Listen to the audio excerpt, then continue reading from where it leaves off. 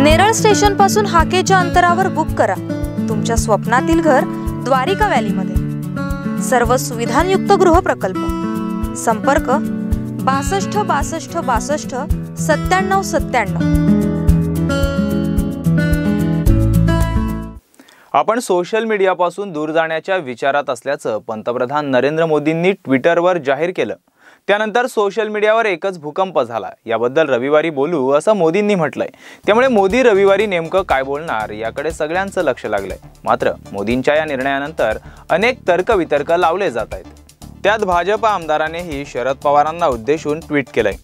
शरद पवार यांनी भाजपला संपवण्याची प्रक्रिया सुरू केली आहे.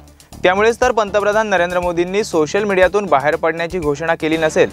हा पवारांच्या प्रचंड राजकीय ताकदीचा धसका तर नाही ना? असे भाजप आमदार अतुल भातखळकर यांनी म्हटलंय. तसेच माझ्याही छातीत कालपासून कळा येत आहेत असेही त्यांनी म्हटलंय. भातखळकर यांनी उपहासात्मकपणे राष्ट्रवादी आणि शरद पवार यांना टार्गेट केलंय.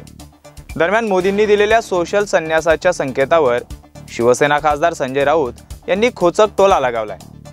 मोदींनी सोशल मीडियाचा त्याग केल्यास त्यांचे कोट्यवधी फॉलोअर्स अनाथ होतील असा चिमटा राऊत यांनी काढलाय. सोशल मीडियावर पंतप्रधान मोदींचे कोट्यवधी फॉलोअर्स आहेत. मोदींनी सोशल मीडियापासून दूर जाण्याचा निर्णय घेतल्यास ही मंडळी अनाथ होतील. त्यांना अनाथ करणं योग्य नाही. कारण हीच मंडळी त्यांचे सायबर योद्धे आहेत. योद्धे सेनापतींच्या आदेशावरून काम करतात. पण सेनापतींनी सोशल मीडियाचं मैदान सोडलं तर मग फौज काय करणार असा सवाल राऊत यांनी उपस्थित केलाय. उनको अनाथ करना ठीक नहीं है ये तो साइबर योद्धा है उनके. और योद्धा जो होते हैं, वो सेनापति के आदेश से काम करते हैं। अब सेनापति ही सोशल मीडिया का मैदान छोड़ देंगे तो फौज क्या करेगी?